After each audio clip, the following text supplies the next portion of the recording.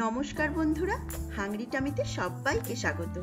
আজকে চলে এসেছি বাঙালিদের খুব জনপ্রিয় আর পছন্দের একটা রান্না মুড়িঘণ্টর রেসিপি নিয়ে। আমার মায়ের হাতে রান্না করা এই মুড়িঘণ্ট আমার খুব পছন্দের। মা এই রান্নাটা কীভাবে করে, সেই রেসিপিটা তাই আপনাদের সাথে শেয়ার না করে পারলাম না। তাহলে চলুন দেখে নিই এই রান্নার উপকরণগুলো। এখানে আমি নিয়েছি একটা মাঝারি সাইজের রুই মাছের মাথা। আছে গোবিন্দভোগ চাল ডুমো করে কাটা আলু, পেঁয়াজ কুচি, ফোড়নের জন্য নিয়েছি তেজপাতা, গোটা গরম মশলা মানে এলাচ, লবঙ্গ, দারচিনি আর গোটা জিরে। নিয়েছি কাশ্মীরি লঙ্কা গুঁড়ো, আদা রসুন বাটা, ঘি। জিরে গুঁড়ো, গরম মশলা গুঁড়ো আর হলুদ গুঁড়ো। কয়েকটা চেরা কাঁচা লঙ্কা আর সর্ষের তেল। প্রথমে একটা বাটিতে আমি এক কাপ গোবিন্দভোগ চাল নিয়েছি। এবার জল দিয়ে একবারই ভালো করে চালটাকে ধুয়ে নেব।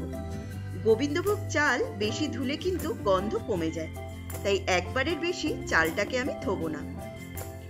এবার চালটা ধোয়া হয়ে গেলে একটা ছাঁকনিতে আমি জলটা ছেঁকে নিয়ে চালটাকে আলাদা করে রেখে দেব।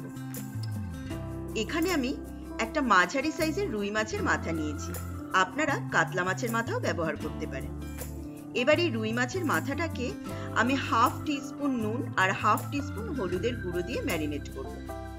এই হলুদ আর নুনটা মাছের গায়ে খুব ভালোভাবে মাখিয়ে নিয়ে মাথাটাকে আমি দশ মিনিটের জন্য ম্যারিনেশনে রাখব। যতক্ষণে মাছের মাথাটা ম্যারিনেট হচ্ছে, ততক্ষণে আমি গোবিন্দভোগ চালটাকে একটু ভেজে নেব। তার জন্য একটা ফ্রাইং প্যানের মধ্যে আমি জল ঝরানো গোবিন্দভোগ চালটা দিয়ে দেবো। এবার মিডিয়াম ফ্লেমে তিন থেকে চার মিনিটের জন্য আমি চালটাকে রোস্ট করে নেব। এইভাবে অনবরত একটু নাড়াচাড়া করতে হবে। তিন থেকে চার মিনিট রোস্ট করার পর এখন চালটা কিন্তু আমার আগের থেকে অনেকটাই মুচমুচে হয়ে গেছে আর চালের রংটাও অনেকটাই চেঞ্জ হয়ে গেছে। এবার গ্যাসের ফ্লেমটা অফ করে এটাকে আমি সাইড করে রেখে দেব। এবার আমি একটা কড়াই গরমে বসিয়ে এর মধ্যে আমি চার থেকে পাঁচ টেবিল স্পুন সর্ষের তেল দিয়ে দেব। তেলটা বেশ ভালো রকম গরম হলে এর মধ্যে আমি ম্যারিনেট করা মাছের মাথাগুলো ছেড়ে দেব। দু তিন মিনিট লো টু মিডিয়াম ফ্লেমে মাছের মাথাগুলোকে ভাজার পর এবার আমি এগুলোকে উল্টে দেব এবং আরও দু তিন মিনিট এই সাইডটাকেও ভেজে নেব। মাছের মাথা যদি খুব ভালো করে ভাজা না হয়, তাহলে কিন্তু মুড়িঘণ্ট থেকে একটা আষ্টে গন্ধ বেরোয়। তাই মাছের মাথাগুলোকে খুব ভালোভাবে ভেজে নিতে হবে। এবার ওই একই তেলের মধ্যে আমি ফোড়নের জন্য দিয়ে দেব ওয়ান ফোর স্পুন গোটা জিরে আর দুটো তেজপাতা। দেব গোটা গরম মশলা। গরম মশলার মধ্যে আমি নিয়েছি দুটো এলাচ, দু তিনটে লবঙ্গ আর হাফ ইঞ্চের মতো দারচিনি। এবার এই ফোড়নগুলোকে কয়েক সেকেন্ডের জন্য ভালো করে ভেজে নেব। ফোড়নের সুন্দর গন্ধ বেরোতে শুরু করলে আমি এর মধ্যে দেব ডুমো করে কাটা একটা বড় সাইজের আলু। সামান্য একটু নুন আর হলুদ দিয়ে আলুটাকে আমি দু মিনিটের জন্য মিডিয়াম ফ্লেমে ভেজে নেব। আলুগুলো খুব সুন্দর করে ভাজা হয়ে গেছে। আলুগুলোতে খুব সুন্দর একটা সোনালি রঙও এসে গেছে। এখন আমি এর মধ্যে দিয়ে দেব ওয়ান টিস্পুন আদা রসুন বাটা। আদা রসুন বাটা দিয়ে এক মিনিটের জন্য মিডিয়াম ফ্লেমে ভালো করে নাড়াচাড়া করে নিতে হবে। এইভাবে আদা, রসুন বাটা যদি আমি একটু আগে থেকে ভেজে নিই, তাহলে এর কাঁচা গন্ধটা কিন্তু চলে যায়। এবার আমি এর মধ্যে দিয়ে দেব একটা বড় সাইজের মিহি করে কুচানো পেঁয়াজ। এবার এই পেঁয়াজটাকেও কয়েক মিনিটের জন্য মিডিয়াম ফ্লেমে আমার রান্না করে নিতে হবে।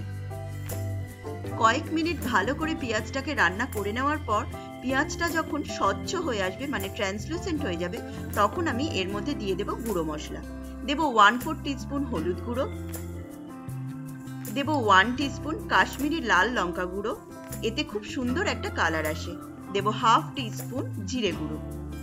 দেব স্বাদ মতো নুন আর দিয়ে দেব ওয়ান টিস্পুন চিনি।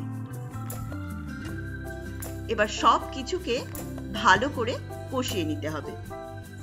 এক মিনিটের জন্য মিডিয়াম টু হাই ফ্লেমে আমি মশলাটাকে ভালো করে কষিয়ে নেব।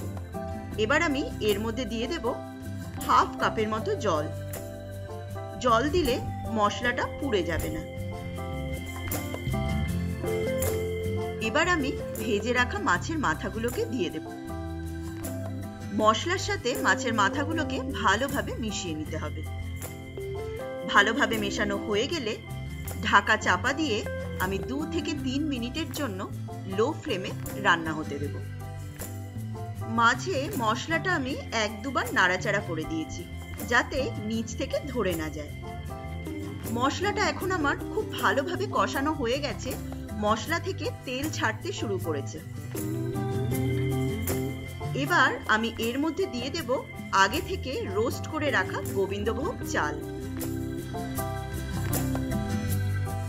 এবার আমি গোবিন্দভোগ চালটাকে মশলার সাথে খুব ভালোভাবে মিশিয়ে নেব। যারা প্রবাসী, তাদের কাছে গোবিন্দভোগ চাল না থাকলে তারা এই রান্নাটা বাসমতি চাল দিয়েও করতে পারেন সেক্ষেত্রে বাসমতি চালটাকে ভালোভাবে ধুয়ে নিয়ে আধ ঘণ্টার জন্য একটু ভিজিয়ে রাখতে হবে। তারপর একই পদ্ধতিতে রান্নাটা করতে হবে। সবকিছু ভালোভাবে মেশানো হয়ে গেলে এর মধ্যে দিয়ে দেব চাল মাপা কাপের দেড় কাপ পরিমাণ জল। তবে প্রথমেই একসাথে দেড় কাপ জল দেব না, প্রথমে দেব এক কাপ পরিমাণ জল। দেব তিনটে চেরা কাঁচা লঙ্কা। এবার সবকিছুকে আরও একবার ভালোভাবে মিশিয়ে নিয়ে ঢাকা চাপা দিয়ে লো ফ্লেমে পাঁচ মিনিটের জন্য রান্না হতে দেব। যেহেতু চালটাকে শুকনো খোলায় ভেজে নেওয়া হয়েছে, তাই দেড় কাপ পরিমাণ জলেই চাল খুব সুন্দর সেদ্ধ হয়ে যাবে। পাঁচ মিনিট লো ফ্লেমে রান্না করার পর জলটা পুরোটাই টেনে গেছে, আলুগুলো খুব সুন্দর সেদ্ধ হয়ে গেছে, আর চালটা নাইনটি পার্সেন্টের মতো কুক হয়ে গেছে। এবার আমি এর মধ্যে বাকি হাফ কাপ পরিমাণ গরম জলও দিয়ে দেব। দেব ওয়ান ফোর টিস্পুন গরম মশলা গুঁড়ো আর দেব হাফ টিস্পুনের মতো ঘি। আপনারা চাইলে আর একটু বেশি পরিমাণ ঘিও দিতে পারেন। এবার ভালো করে সব কিছুকে ভালোভাবে মিশিয়ে নিয়ে লো ফ্লেমে আরও একবার ঢাকা চাপা দিয়ে দু থেকে তিন মিনিটের জন্য রান্না হতে দেব। যারা এই রান্নাটা বাসমতি চাল দিয়ে করবে তাদের ক্ষেত্রে জলের পরিমাণটা কিন্তু দু থেকে আড়াই কাপ হতে হবে। ভালো করে মিশিয়ে নিলেই তৈরি হয়ে যাবে আমাদের আজকের রেসিপি মুড়ি ঘন্ট। আমার আজকের রেসিপিটা কেমন লাগল অবশ্যই কমেন্ট করে জানাবেন। ভালো লাগলে প্রচুর শেয়ার করবেন আর লাইক দেবেন। আর আমার চ্যানেলে নতুন হলে আমার চ্যানেলটিকে সাবস্ক্রাইব করতে একদম ভুলবেন না।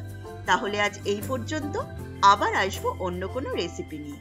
সবাই ভালো থাকবেন।